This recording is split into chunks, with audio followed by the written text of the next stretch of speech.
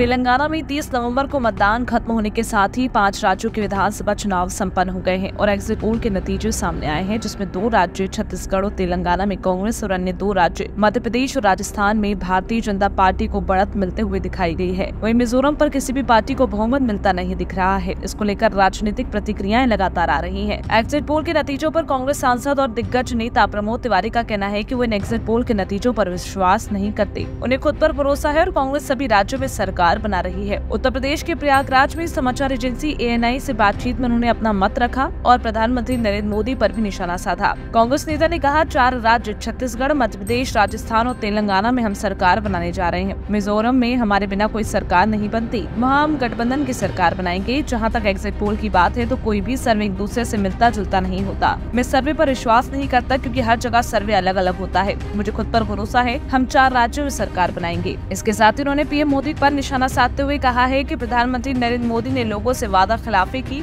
जो वादे उन्होंने जनता से किए, उन्हें पूरा नहीं किया। हम अपने बूते पर सरकार बना रहे हैं। ये सर्वे ही एक दूसरे की काट कर रहे हैं। तो हम तो विश्वास नहीं करते इन पर। मैं अपने अनुभव से बता रहा हूँ की चार राज्यों में कांग्रेस अपने बूते पर सरकार बनाएगी।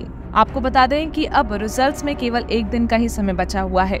आज एक तारीख हो चुकी है और साथ ही साथ तीन दिसंबर को पाँचों राज्यों के विधानसभा चुनाव के परिणाम सबके सामने आ जाएँगे और ये साफ़ हो जाएगा कि आखिरकार कौन से राज्य में किसकी सरकार बनती है। खास तौर पर मध्य प्रदेश छत्तीसगढ़, राजस्थान को काफ़ी ज़्यादा अहम माना जा रहा है, जहाँ पर भारतीय जनता पार्टी और कांग्रेस के बीच कांटे की टक्कर समझ में आ रही है और सभी की निगाहें मध्य प्रदेश की ओर ज़्यादा घिरी हुई है, क्योंकि इस विधानसभा चुनाव को लोकसभा चुनाव का सेमीफाइनल भी माना जा रहा है। देखना होगा कि आखिरकार कौन से राज्य में किसकी सरकार बनती है। तमाम बड़ी खबरों पर हम आपको लगातार अपडेट देते रहेंगे, लेकिन तब तक के लिए आप हमारे चैनल को लाइक, शेयर और सब्सक्राइब करना ना भूले।